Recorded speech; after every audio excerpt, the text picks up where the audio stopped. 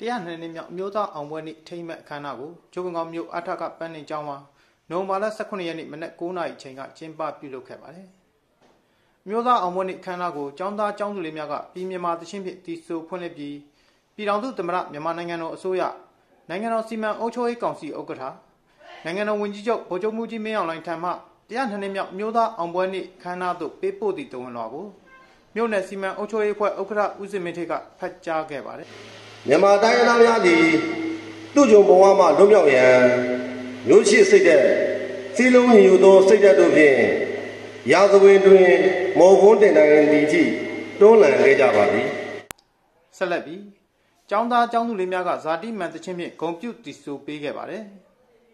။အခမ်းအနားပြီးမှာမြို့နယ်စီမံအုပ်ချုပ်ရေးအဖွဲ့ဥက္ကဋ္ဌနဲ့အခမ်းအနားတက်ရောက်လာကြသောဌာနဆိုင်ရာအကြီးအကဲများက တရားနှစ်နှစ်မြောက်မြို့သားအောင်ပွဲနေ့အထိမ်းအမှတ်နိုင်ကက်စာဆောင်များနဲ့ပကြီးပိုစတာစာရေးစာကုန်းကြပြပြိုင်ပွဲများမှာစူရចောင်းသားចောင်းသူလေးများရဲ့ပြိုင်ပွဲဝင်လက်ရများကိုကြည့်ရှုအားပေးခဲ့ကြကြောင်းသိရပါတယ်ကျွန်တော်ကတော့ဇေယျထွန်းပါ